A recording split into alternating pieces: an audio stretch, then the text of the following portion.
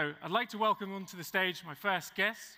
So um, Amy Broglin Peterson, Professor of Supply Chain Management at Michigan State University. Um, Amy is also a principal consultant at Winex Global Advisory. Welcome, Amy. And has more than 20 years' experience in supply chain and purchasing roles, uh, including at Ford, American Axle, Bosch, and several major 3PLs. So, welcome, Amy. Thank you. And last, uh, certainly not least, uh, we also have uh, Matt Pohlman.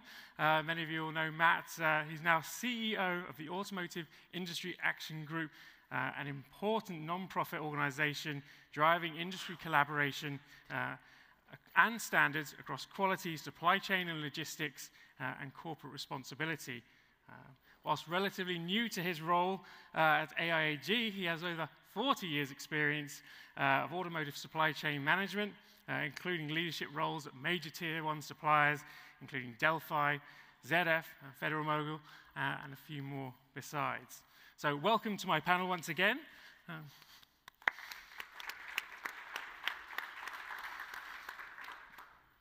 So, as I've just laid out, um, clearly you both have uh, impressive track records, impressive career histories uh, in logistics and supply chain, progressing through uh, various leadership roles, uh, automotive, major automotive companies. Um, what got you into the industry in the first place? Uh, and, and do the same opportunities that you saw and had still, uh, still lie in place? So, Matt, I'm going to come to you first. okay. Hi, everyone. Good to be here. Um, when I started working, I was not in the supply chain at all. I was in a sales role uh, for Federal-Mogul. I was in sales for 10 years, uh, moving around different sales jobs, probably complaining a lot about the, the supply chain and, and, why we didn't get material. Uh, but uh, I had a job switch. Uh, a, a, boss changed when I was running a call center, and I went to, to, to more in the operation side. And from there, um, started running warehousing, distribution sites, uh, moved to Europe, did a bunch of other things. And uh, I haven't been able to get out of it. I've enjoyed it. Uh, it's been a, a, a, great ride. I think the, the first 10 years of sales has tremendously helped me uh, over the next 30 years of supply chain uh, challenges in the industry. But uh, to your later question, is it still the same or is it same challenges? I think the opportunities are there are great in the supply chain space today. Um, we've never had the visibility we have today. Uh, it's at the C suite side relative to what supply chain is. Uh, I think there's a tremendous opportunity, and I'm sure we'll talk about that today, uh, for new talent to, to, be brought in. There's a shift in talent happening, a shift in expectations within the supply chain. But we have ever facing challenges. We, there's a significant uh, opportunity for change. You're always de- involved with some kind of change when you're in supply chain space. So uh, I do think there's opportunities today for young people to join the organizations uh, in a supply chain role. Yeah, excellent. Well, it's good to start on a very positive note, so thank you for that. Uh, Amy, a little bit about your, uh, your journey. Yeah, well, thank you, first of all, for uh, having me up here today. It's great to be here. Um, so it's kind of in my blood. I was the fourth generation in my family to work in automotive. Um, and uh, so I kind of from a, a, young age had a father and a grandfather and a great grandfather who were all involved in some way, shape, or form with automotive purchasing and logistics. Um, so I kind of knew I wanted to do that. Uh, but to Matt's point, and I think he summarized so so well, you know what what's kept me in it over the years is there's no day that's the same. The change is constant. Um, and can be, you know, rather addictive. The excitement of just a, a, different day ahead every day and a new challenge to overcome. And um, so it's it's been a great a great ride so far, and uh, you know, look forward to years to come, hopefully in in the industry. Yeah, fantastic. And uh, yeah, I think um, everyone I've spoken to is certainly a sucker for punishment um, who uh, thrives, thrives in this scenario. Um, it, it, takes a special, special breed of person to relish the, uh, the challenges, the opportunities, um, the supply chain, uh, not least now. But automotive supply chain, no stranger to a crisis. As we say, every day can be different. Um, but in the past couple of years, uh, there's been, well, over periods of time, there's been periods of calm, um, it's been cyclical, um, crisis in isolation. Uh, now there's continuous pressure, multiple crises um, to manage an enduring level of disruption, uh, and seemingly no end in sight. So, for leaders and their teams, uh, is the current way the sector works sustainable uh, without service levels dropping? Um, and how is this sort of new normal landscape that we're in of this constant disruption, you know, what's the impact of those working in the industry?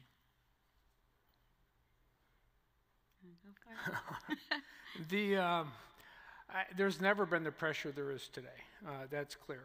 Uh, and it's, uh, um, it's causing, I think, everyone to rethink uh, how they run their supply chains and how they're managing the supply chains. Uh, and there's a great deal of stress. But sometimes when there's stress, I'll try to keep it on the positive side. Uh, there's the ability now with the extra focus I mentioned earlier at the C-suite, but uh, but everywhere. I mean, I mean, when I first started taking supply chain roles, nobody knew what supply chain was. And, and now uh, even my mother uh, is reading about it and, and she's telling me about different disruptions before I even read about it. So I think it, it's clearly uh, in the forefront and I think um, the ability uh, that that has is, is, is, is quite broad. So I think while there's disruptions and it's difficult and it's challenging, I also think that in many cases the, the right companies are using this time uh, I mean, we're scrambling to try to get stuff in and, and, get it fixed. But as they're doing that, they're reevaluating their supply chains. They're, they're looking at nearshoring. They're looking at what can they do from a te technology standpoint. Uh, I know in the past when there was investment needed or when you needed some type of uh, financial support, often the supply chain was one of the last places that had ever happened. Now, because of the focus on supply chain, because of disruptions, because of how the, the, uh, the supply chain's lengthened, it's now getting shorter again, or at least people are evaluating can it be shorter? What kind of investments can we make, and all those other types of things. So I think there's an opportunity now with all of this pressure and heat to, to reevaluate and reinvest in, in, in redesign the, uh, uh, the organization that you're in to, a, to the new type of supply chain that is evolving. You know, it's fantastic, and we do appreciate your mother's subscription to our, uh, our weekly newsletter. I, um, I, did send her the, the, announcement you put out there, so she's looking at it. Yeah, that's fantastic, and you're all welcome if you haven't signed up, of course. So, um, to that point, uh, change is coming, uh, and the long-term view for the industry uh, is seemingly very positive. You know, we've had um, expert analysis on, uh, about the growth of the industry, the rapid rise of electric vehicles, um, the growth in that space, the battery production line, um, regionalization, nearshoring, as, as you mentioned, Matt, um, a commitment to increasing the US manufacturing uh, footprint, uh, as well as the supply chain to, to support it. Um, so, how will how will the industry be able to cope with that scale um, and that scaling up where it's already seemingly quite stretched, where there are labor shortages, there is labor supply challenges, um, be it from warehouses to truck drivers um, through to middle management. Um, how can the industry prepare for that growth um, so the logistics and supply chain organizations and sector can meet the needs of that growing footprint? Amy, I'll come to you. Yeah, so I, you know, was actually just uh, speaking with some individuals in the audience here before we started, and um, was mentioning to them that it used to be you would see a lot of the automotive companies, the OEMs, the suppliers at career fairs and things. Um, but more so now than ever, we're seeing forwarders and transport providers actively recruiting supply chain talent, um, even right out of college. And I think that's a really exciting place to start. Um, you know, the transportation industry just being what it is with the, uh, the global nature, but the increasing prevalence and importance in, in the place of a supply chain, um, it's huge, right? And so preparing for the need for this talent, I mean, obviously it, it starts with um, companies like this that are hiring and training I, I often laugh and tell students in supply chain that it really doesn't matter what I put up on the board or try to lecture on. You learn by doing, right? And so when you get out there and you start doing these things in the real world, that's when you truly begin to um, paint the picture of an end to end supply chain. and the various pieces and how they work and come together. So, um, preparing for the, the future workforce and the growth in all this space. Uh, you know, obviously at Michigan State, we're, we're doing a lot to build our talent, build our program, which has always been strong, but uh, you know, in the world, there are so many emerging supply chain programs in general. Um, almost every university I can think of has either started a program or will be starting one soon. Um, so there's a huge pipeline of talent coming. I know right now I, I think we're still kind of in the gap years, um, but I'm very excited about the future, and I think we'll be well equipped to handle supply chain challenges with the different um, student populations across the US, especially. Yeah, I, I think the supply chain industry, the automotive supply chain industry, has been dealing with this for a long time. Uh, it, it's, uh, you know, we've had to expand. There was a big expansion when they started going from, say, the U.S. to expanding into Mexico. There was a lot of people in doing it. I think one of the things, or, or expanding to China, there was a lot of those activities. I, when, when I think when that was happening, uh, there was a lot of companies did that mostly themselves. They maybe had consultants, but they were doing a lot of those those activities themselves. Uh, and the moves took longer, the activities uh, took longer, a vehicle was in production a lot longer. Uh, I, I, think what I see changing right now is the speed with which change is happening. Uh, not only the speed of new uh, suppliers coming on board, new manufacturers coming on board, new tiers coming on board, also all of the tiers, all of the suppliers within the industry. I think it's changing so fast. I see one of the big changes is is companies aren't doing it as much themselves anymore. They're involving others, they're involving their partners, they're involving the next tier, they're involving service providers and, and, and outsourcing uh, providers to do those things, to try to, to go faster, to try to rely on somebody else to help with different pieces of that. And I think as that is evolving, I think there's also uh, a requirement now for better partnerships, better long term partnerships, better communications.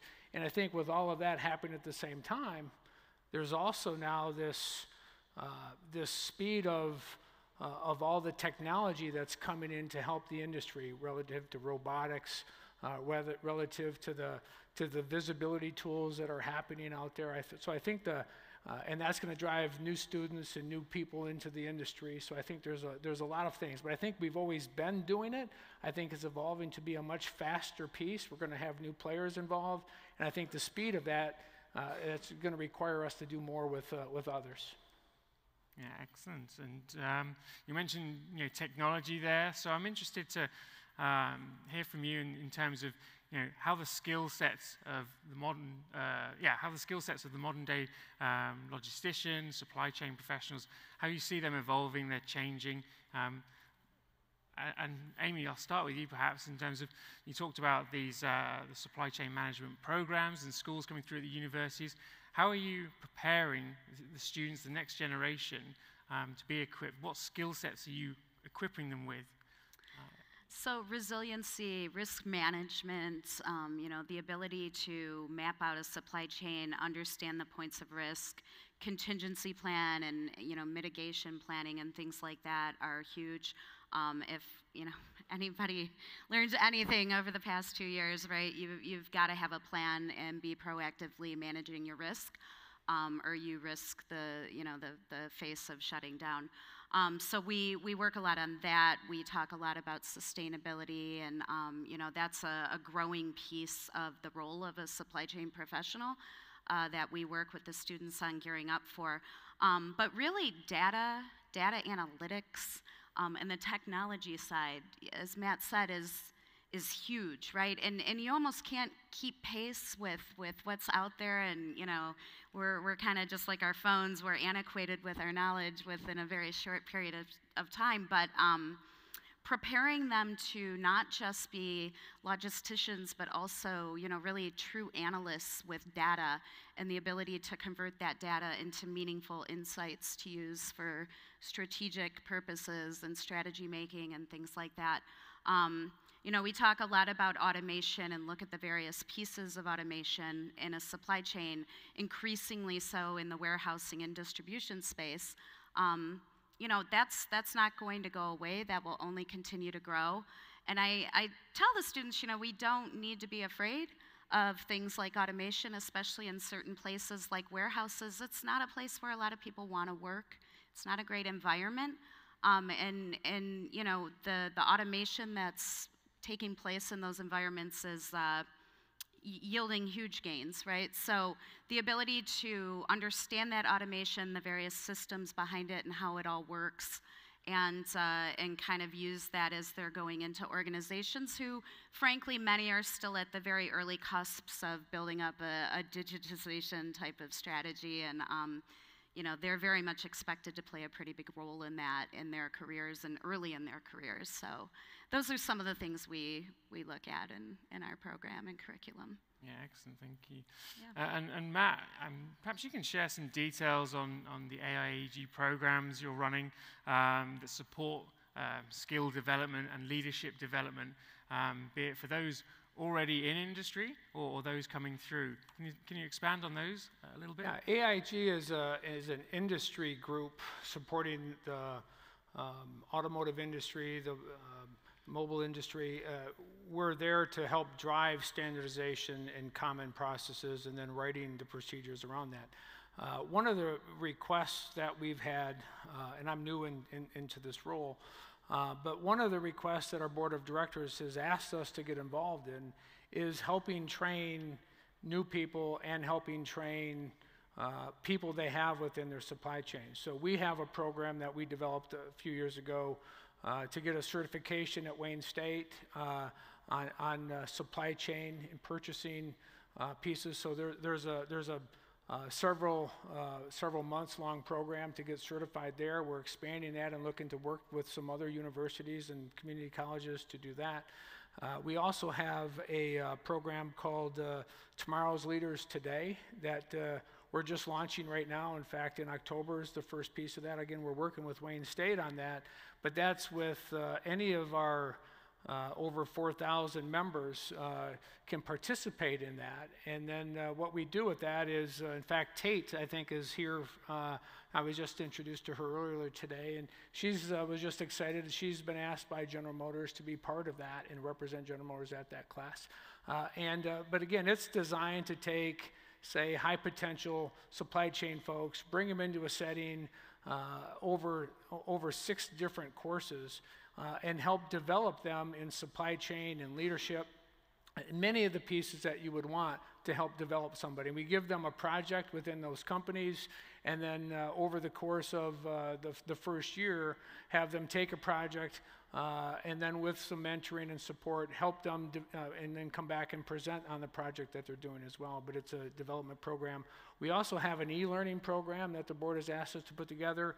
Uh, we have uh, we're known for the quality and those types of things we do. We also have supply chain, but we also have corporate responsibility, which is, is a, a, lot of the social responsibility that you have within a company. We've got an e-learning program that we're in the final stages of developing, and that's where, again, where member companies uh, can, can participate in that, and there's a, the ability uh, for companies to track who's done that, to allow uh, yourself to be uh, um, have the ability to say, we've ta- uh, people from our company have taken these e-learning courses uh, and uh, they've, they've passed the courses and then there's the ability to, to report uh, on all the reporting places that you need to do to be, uh, to be accountable for that. So I think that, uh, so we're, and we've got a tremendous demand for support on developing people and we're trying to figure out how do we do that. Yeah, a comprehensive program there. Um, accessible to, to the industry. Fantastic. Um, what does the modern day leader look like, or what should the modern day supply chain and logistics leader look like? Um, is there a greater focus on the, the softer side, the human factor within this? Um, or is it all about the KPIs, getting through the, the tough times in the crunch? Um, I think it's, it's uh, I don't know, I, I think there's uh, the ability, the leader today uh, has to be uh, multi-suited for things that they've had responsibility for. So I, I, I, don't think you can start out in warehousing and just go very vertical in warehouses and be a full supply chain leader. Um, I think you have to have experience cross-functionally on many areas, whether it's purchasing, warehousing, manufacturing. I think it's very important for any leader to have gone to the floor and know how to, you know, go to Gemba, learn how to run the shop floor, learn how to run that. But whether it's uh, purchasing, inventory, transportation, customs, there should be a full understanding of having many of those things on someone's belt because then you can understand the full gamut of that. You can have a specialty in one of those areas or not. But I think the leader today needs to have that full responsibility. I think it's helped me a great deal having had 10 years of sales experience. That's also helped me in, in my background understand that important front end piece. But uh, I also think you have to have uh, some technology in your background. I think it's uh, uh, it's, it's, it's, it's important to have an understanding of technology and how that can help you. Uh, I think you have to have the skill of being able to partner uh, with others on the outside. Uh, but uh, I think it's evolving today. The managers of the old days, where you just barked out rules and told people, I think you were referring to that earlier when you were saying that. But I think that the, the employees today want to have a lot more ownership into what their day looks like and how you're doing it. So I think there's a, there's a transition right now happening in the, in the, in the market. Uh, and we have to figure out how to manage this, this newer workforce that's coming at us. And I think that's still evolving. Absolutely. Uh, I want to do a quick um, audience poll, just uh, something we touched upon yesterday's session, and just by a show of hands, um, who intentionally got into automotive logistics and supply chain in this room?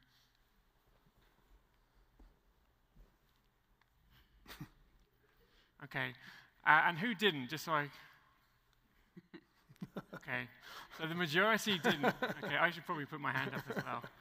Um, I wanted to be a dancer. Um, so, foisted by my own petard here. Um, yeah, just to, just to make the point that we heard yesterday is uh, the route into logistics supply chain is perhaps not a, a natural choice. Um, and yet here we are, and people have had some fantastic, exceptional careers, um, uh, loving what they do.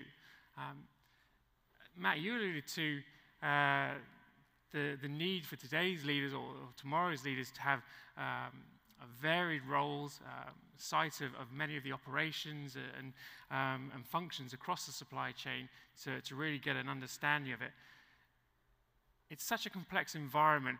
What, is the, what does the career path look like? And is that, um, that complexity a real barrier? Is there enough transparency into what that career path might be like? Whether it's someone already in the industry looking to take the next step or someone looking to get into it? Amy, I'll start with you. Yeah, so, you know, I, I think there's huge opportunity to, um, you know, to be frank, to do a little bit stronger in this area, right? So, a lot of uh, students, and, and when I was coming up and starting out in the industry, um, you know, I had a couple of internships, but it was very different than what, uh, what a, our students experience today. Um, I think that young people want to understand, you know, where they can go in a company. They're eager to try and do different things. Um, and so gone are the days maybe where you can plop someone in a cube and stick the same title on them for five years un, un, unanswered, right, on, on a career track. Um, I think it's, it's pertinent to give some visibility into what you know, is being done organizationally to round out uh, different professionals, right? Especially in the supply chain space. I agree wholeheartedly with Matt that, um, you know, to really understand end-to-end supply chain and therefore be a part of a strategy in that direction, you have to spend time doing all those things, right? And so for our young young people starting a career. Um, you know, we, we organizationally should be developing tracks where we're rotating and we have, you know, a very structured program. I think that also helps with retention, right? So securing talent is one thing, keeping talent is a different, uh, whole different ballgame. And so this is some of the, the things that I would say our uh, younger set is looking for when they start with a company is, you know, I, I can start here, but where can I go from here and where can I grow from here, right? Um, and then over time, how can I find a path and work through and check all these boxes to end up in, in a leadership role of strategic importance, right? Um, so, so I think there's opportunity there. You know, many companies have very good programs with that. Um, Some companies not as much, you know, but it's never too late to start. Uh, and I think it's it's better. It's a win-win for everybody, right? You you you need well-developed supply chain talent. Clearly, that's why a lot of people are sitting here right now. Um, and you're only going to get it if you're moving those people through the different roles. Operations is huge. So few people spend time getting their hands dirty, but yet I would say that's one of the best ways to learn supply chain, right? And it's, it's better to do it when you're younger than, than older, too. So, um, you know, I think there's, there's a, a, huge need and opportunity to really drive a, a structured program in, in companies. Um, and I don't know if Matt has anything to add on this. But. No, it's just it's it's a challenge, right? The development uh, is, is, very hard. I think having a well-defined plan uh, that says you need to do these various things, these six things, these seven things, uh, and then have it be flexible enough that it's not you're going to go A, B, C, D. You might go A, D, E, but and the person has to be flexible. Again, it's uh, these uh, being in the supply chain is not uh, is not built for everybody, right? There's a you got to have thick skin and you got to be able to manage things. But I think there's a lot to do, and I think it's going to be evolving. I think we have to continue to find a way to learn.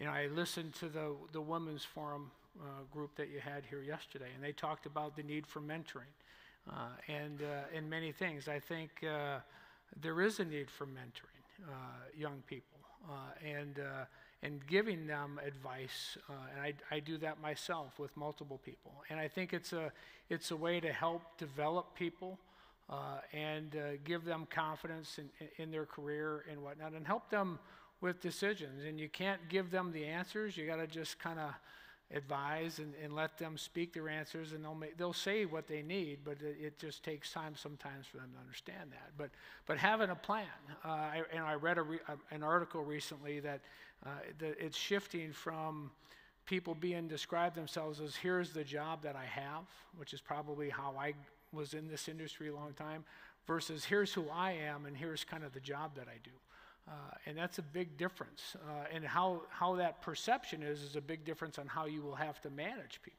And I think it's important for us to try to understand those changes and those shifts uh, because it's a different management style to manage somebody that's more interested about who they are uh, and the job that they do because they want different things. They might want more flexibility in, in, in different stages of, the, of, of, their career path. So, again, we have to identify that and adjust and and, younger people might have to adjust to the business life as well. But it, I think it's a learning curve all the way around. Absolutely. And you, and you say we have to listen to the next generation to what they want.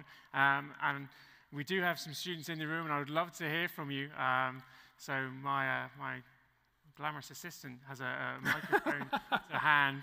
Um, so yeah, we'd love to hear, hear your thoughts on, you know, what are your expectations? Um, what are you looking for in a, in a career um, moving forward? Um, so if anyone's brave enough or everyone feels comfortable enough, we'd love to hear from you and, and get your input. So. Excellent. It's a good thing I ran track when I was young. it's not like you've been running a conference for two days, Chris. No, that, that's easy stuff. Is here? Yeah. Thank you. Please. Um, my name is Sydney. I uh, just graduated from Wayne State uh, this past May.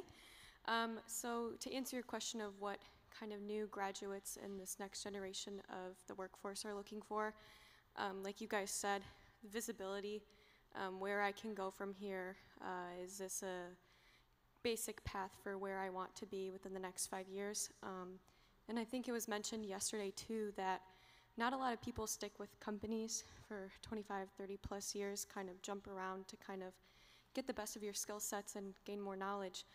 Um, so with that, yeah, I, I personally um, am definitely looking for something that can get me on the path that um, I'm looking for. And yeah, I would say visibility and transparency uh, is the most important right now. Yeah, thank you very much, and, and congratulations as well uh, on, on, graduating. So that's uh, fantastic news, and um, you know, we look forward to having you on the panel uh, in the coming years as our, as our keynote speaker. So, um, but joking aside, thank you very much for your answer. And you know, that's really critical. Uh, understanding what um, people want out of their job. I think uh, you know, even on a personal journey, what the pandemic has changed um, in terms of the desires, the needs from uh, the work-life relationship. I think that's something that everyone can relate to. Um, having that clearer picture uh, is really valuable to uh, to have. So, yeah, any any comments on that? Yeah, you know, I, I we were talking about um, and some of the soft factors, right, and leadership, and uh, to your point about um, the pandemic and work-life balance, and you know, we we again have huge opportunity to really step back and look at the workplace um, and what we thought it was versus what it, it truly can become, right, and so you know, the, the metric of how many hours spent at the office or at a desk, I hope is gone. Um, because frankly, that was never the right metric to begin with. Um, you know, the, the, the outcomes, the performance, the objectives, the things that you want to accomplish, um, and how people are aligning with that, I think is, is critical. So, kind of redefining work um, you know, it, it, it's a huge part of your identity, but you're also a human, right? And you have moments in your lives where you, you need that human side to come first. And um, companies need to be adapting to that, right? I, like I told you, you know, if, if, your, if your policies are such that they can make people cry at times, right? Um, then, then it's, it's time to draw those up again, right? And, and really look at what you want out of your people um, and, and how you're supporting them in that way. And so things like maternity policies and bereavements and, you know, life events, um, you know, how are you supporting people when they need support as well? Uh, so it goes both ways. And I think luckily, you know, if there's any gain from a pandemic, which there's a few things that it's I wouldn't say been good for, right? But we've all learned probably some lessons. Um, one of those things is just that, you know, people can be very productive and very reliable in and out of an office and still help us, you know, not just achieve but really exceed our goals. And I think in supply chain, you guys, I mean, you're doing this all the time, right? You're, you're probably very tired. It's been a few trying years. Um, so, you know, the, the need for management now more than ever to really take that human side and, and approach is very critical uh, as well. Yeah, and I think understanding uh, where you work is important as well. Mm-hmm. Um, you know, if you're in an area that, uh, say, you're in a customer service area and you can work from home, um, it, you can work from home, uh, and, and, there's ways to make that work. If your job is to do something in a factory or in a warehouse, you probably can't do that from home. We can't pick parts from your house. Um, so it's uh, having, I think, understanding those things are also important. Uh, and when you're in various jobs and when you're rotating through various jobs, there's an expectation that you're going to be at a place doing work. And sometimes I hear, well, I didn't want to do this. And I think it's there's a good under. You should make sure you're understanding what you're getting into, uh, and how long you're going to be there. I think I think one of the things that is changing now is that expectation. How do we make sure we outline the expectation? We outline what's uh, how long it might take, uh, and then you know, and then make sure that uh, we're living up to our our word and the commitments as, as we as those as those things happen. And how do you communicate uh, progress on those things, and how do you move within an operation? But I think it's it's an understanding. It, it's just not everything is a work from home job today uh, in the space that we're in, in the automotive space, um, a lot of it has to be uh, at the operation or at the facility you're in, uh, and it requires work to be done from there. So I think it's you got to let set the ground, un, understand the ground rules and expectations as well as important. Yeah, great, thank you. Um, Just, just, to, just to add on, partly from the, the, the, comment as well from, from the student, I thought there was a point that was made yesterday in the Women in Supply Chain panel, which applies across the board. It wasn't so specific to women, um, around the defining the path, of the career path. And one thing that was recognized was that sometimes progression isn't, isn't linear, at least if you're going to develop those rounded skills that you've been talking about. So maybe on paper it might look like, I don't know, going from analyst to planner to manager, etc. But actually along the way you need to, you should go into the warehouse or you should go into the operations. But there's been more effort to start defining the progression path and not not seen backwards. So, um, uh, and, and, it would be specific to each company. But the path is there. So you might pivot to a different role, but you're still progressing. And I mean that. I mean, if someone wants to comment or add to that about from their company experience, please do. But I thought that was a, uh, an interesting point. And then I would throw a question to it, and again, it's either side. So when I was 20 or 21, all I could think about was getting out, seeing the world. I would have, you know, just probably why I ended up a journalist, uh, in, you know, traveling around so much. Um, you know, I'm, I'm curious if for the younger generations, that sense of wanting to be in international locations is still as important. Um, we have some challenges in the world that make some of that harder than maybe it was even, even a couple of years ago. Um, but I know one of the, uh, Kelly Bysouth from IAC, um, I don't think she said it on the panel, but I know she said for her, when she works with her um, younger, younger staff, and they want to develop to be directors or whatever, would expect that at least one international posting would be part of that path. Um, so just raising that, interested if, first from the panel's point of view, uh, if that's important in your mind, and, and then I guess if there's anyone in the audience who wants to, to comment on that, then please, please let us know. Yeah, thanks, Chris. I would comment on, on the international experience. I have had the blessing to be an expat in three different countries for two different companies. Uh, and um, I couldn't be the person I am today without having the international experience. Um, you know, the cultural piece that you learn is so important, uh, especially if you're working in a global company. Understand the different ground rules and, and, and different way of work, how it gets done. Uh, it, just because uh, I learned it this way doesn't mean that's the way it, it necessarily might be the best way. So I, I would say, you know, getting multiple uh, pieces of a tool belt of experience is tremendously important.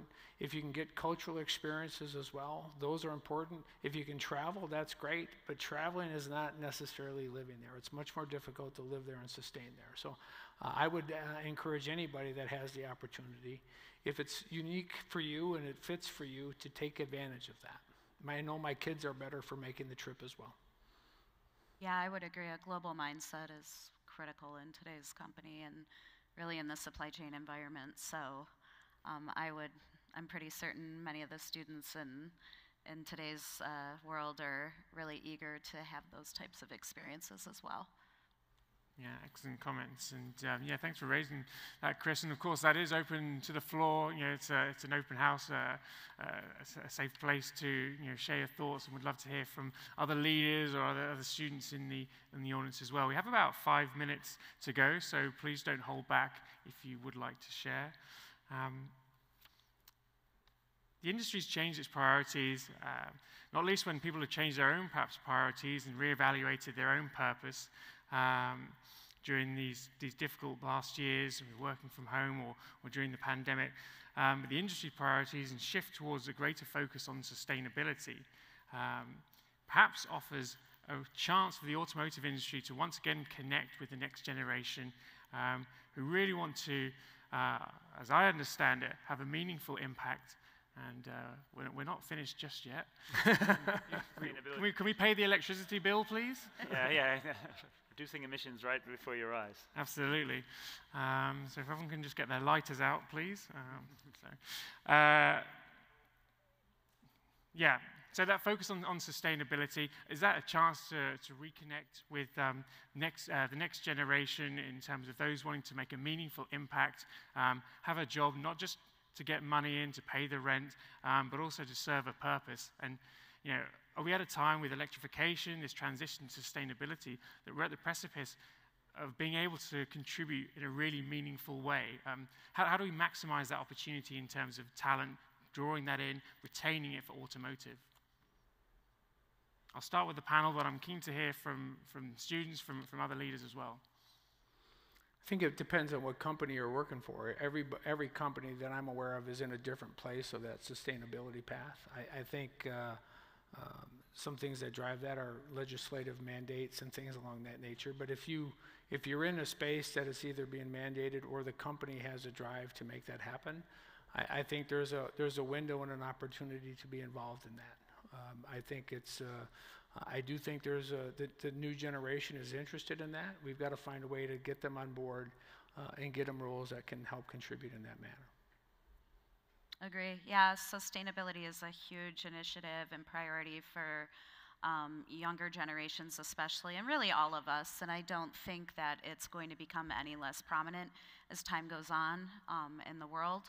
So I know that it's you know it's something that when you ask students what they think is is you know most critical in a hiring company, many of them are looking for companies that are you know striving to be environmentally friendly or reduce carbon footprint or you know and and sustainability comes in other forms, right? Um, using responsible suppliers and, and ensuring you know responsibility and ethics throughout your supply chain. Exactly um, safe working conditions. You know, there's there's lots of uh, opportunity there. Um, so I, I definitely agree. Sustainability is we're kind of at the forefront. Um, and you know, not every company we're in transportation, right? So we can't be as sustainable as as maybe we would hope. Um, goods have to be moved. Uh, but there are things companies can do and are doing to kind of help improve and work on those initiatives. And I think a lot of the, the students would love to be a part of um, an organization that really puts that as, as a focus area. Agreed. Yeah, excellent. Um, yeah, um, this is Dave Leach. I work for General Motors, and just to talk a little bit about that point. Um, you know, it's about uh, three, four years ago we um, kind of identified a, a, vision for GM, which we call zero zero zero, and it's, uh, it's uh, our vision of um, a world with zero crashes, zero emissions, and zero congestion. And the way that has resonated with the company, within the company, has been absolutely phenomenal, and it really guides, you know, what we work on. And in terms of, you know, the young talent coming into the company, it's, it's really inspiring to them. And so, um, you know, we measure our impact on the environment with all the things that we do. And, and it's amazing the momentum you get when you um, really focus on sustainability for the right reasons, not for the regulatory reasons, and the innovation and passion. Um, you know, we have um, volunteer sustainability teams, and the interest is astounding within our organization and the ideas that they come up with. And like in the logistics space, you know, if you can shrink your network and your and your routes, you know, what's the CO2 savings for that. You know, we ship a lot of cardboard, you know, that, that we can't recycle. So there, there's, there's lots of things we can be doing um, from a sustainability standpoint, and it does, uh, it definitely resonates. The electric piece, you know, is certainly huge as well, and, and we're, uh, we're all in on electric from a GM standpoint. Thanks, Dave. Yeah, yeah, that's great. Thank you, David. And I think you know, it's almost a fantastic point to, to end on. Perhaps uh, I will just close out this panel by just asking our panelists, what's your advice? You know, we, we've covered a lot of ground, we have given a lot of advice already, but just to sort of sum up in, in maybe one, one sentence or two, um, what's your advice to the aspiring talent out there, to those in, in supply chain, living and working every, every single day? Um, Amy, final thoughts? Oh, my students are probably really sick of hearing my advice by now. But, um, you know, I, I do really, really have a strong belief in, um, you know, working at the ground level and spending time in operations. Um, I hate to say getting your hands dirty over and over, but truly you know that that is where you learn so much about you know where the the rubber meets the road and ultimately all the various activities within a supply chain and how they're they're coming together and and making or breaking your your company and your operations. Um, so you know do that do it when you're young if you can. Um, it's it's uh, critical and um, yeah have an open mind and be open to new experiences Great, Amy. The, I, I, think I would, I would just say the supply chain space in the automotive space is a great place to be. Uh, I would encourage my own kids uh, and anybody to get into it. It's, uh, we're nowhere near the end. Uh, we still have a long journey. There's a technology change and shift that's about to happen that's going to make it extremely exciting. And, and you can be in supply chain and be in data and, and be in electronics and, and, and all of those converging areas and really make a difference uh, in the supply chain space. It's just not moving things or making things. Uh, in that supply chain space, you're looking at all the interconnected pieces. And uh, I think that uh, we're far from having that understood, especially as the new EV uh, world is coming in and all the changes that are going to come from that. I think we're going to have a very different supply chain with that in the future.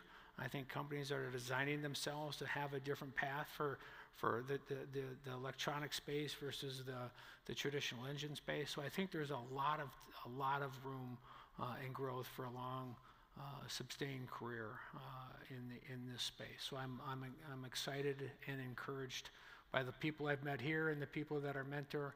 Uh, I think we've got, the future looks good. Well, that's a perfect way to end this session. So thank you very much to my panel, um, Amy you. and Matt. Yes, Brilliant. pleasure.